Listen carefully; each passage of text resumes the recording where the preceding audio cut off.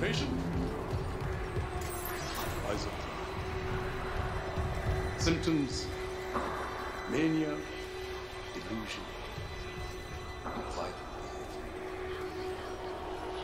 What was the last strongest? The grief, Or the guilt?